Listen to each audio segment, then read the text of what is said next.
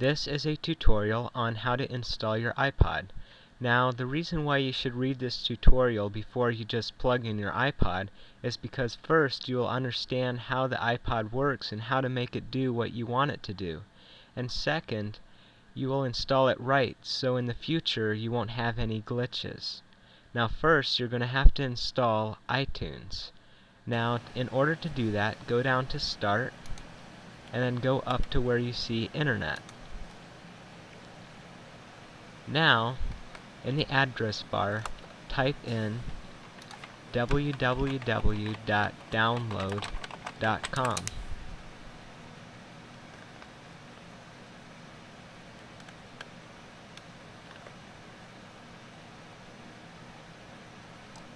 Once it loads at the top, you should see a search bar.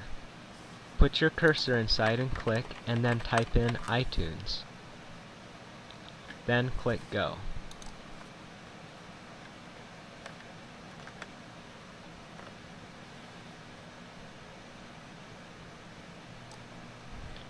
Now, in the search results, scroll down until you can find iTunes. Now, the current version right now is iTunes 7.0.2. But in the future, it'll be a higher number, which is fine because usually this will be the same no matter what version you have. Now, click on the download. and it takes you to Apple's website. Just uncheck those two boxes and then go right past the um, email. You won't have to put in an email for in order this to work. So then just click download iTunes for free.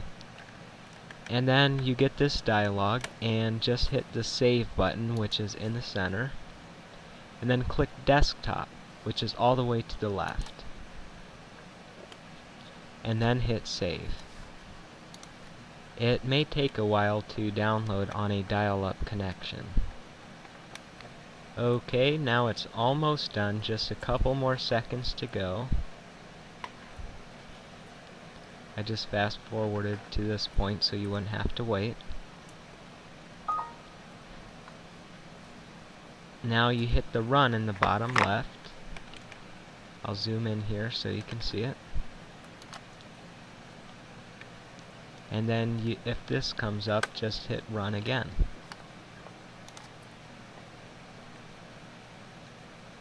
Then you just wait a little little bit until something pops up and then I'll show you what to do next.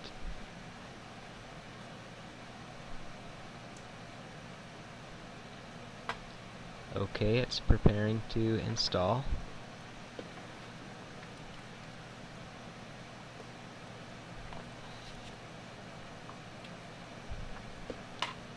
Alright, here we go. First, just click Next.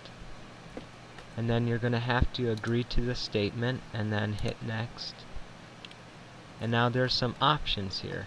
The first one asks if you want to put shortcuts on your desktop. I'm going to leave that checked. The next two I'm going to uncheck. It's up to you. Then click Install.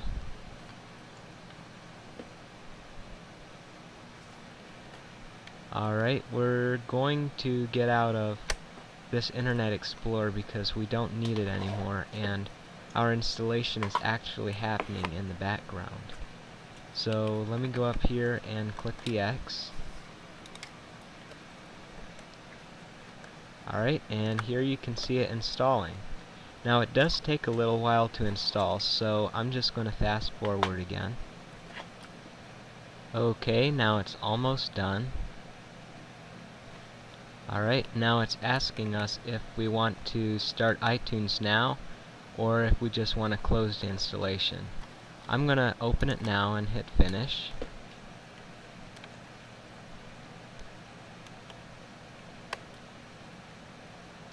Alright, and now there's another statement that we need to agree on, so just hit agree.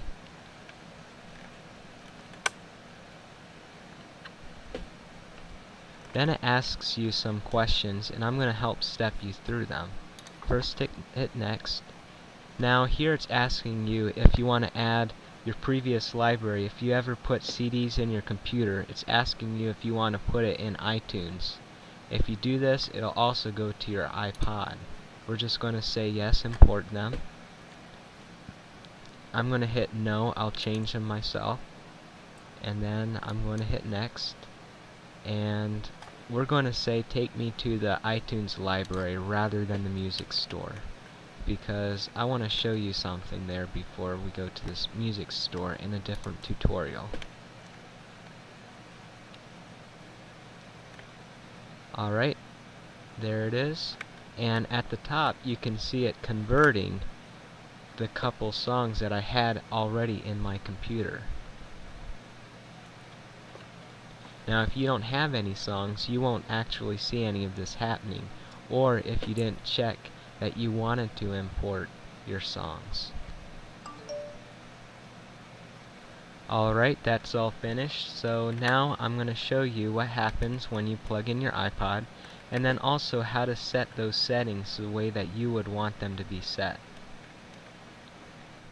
When you plug in your iPod, the first thing it'll ask you is what you want to name it. This is really helpful if you have multiple iPods for different members of your family or if you simply have more than one. Now, there's two boxes. The first is for music and the second for photos. Um, as the reason why you would not want to automatically sync your songs is if you might have a thousand CDs, but your iPod can only hold 500. Then you want to manually move it over. But my library isn't as big as my iPod, so I'm going to leave it checked. You can always change it in the future. I suggest leaving it checked if you're not sure what you want to do. Okay, so now it's done moving the songs over. Once it does that, it'll say it's okay to disconnect. Don't disconnect it before it says it's okay. Now, over here in the devices, under the iPod Nano, if you click on Music, you'll see all the different music titles in your iPod. If you click on the music under library, you'll see all the music on your computer. They should both be the same if you chose the automatic synchronization. That's the end of this tutorial. If you need more help, go to my business at www.thegizmoshack.com and go to the contact page. We can also help you with your other electronic devices and even help you solve problems on your computer. Check us out, www.thegizmoshack.com.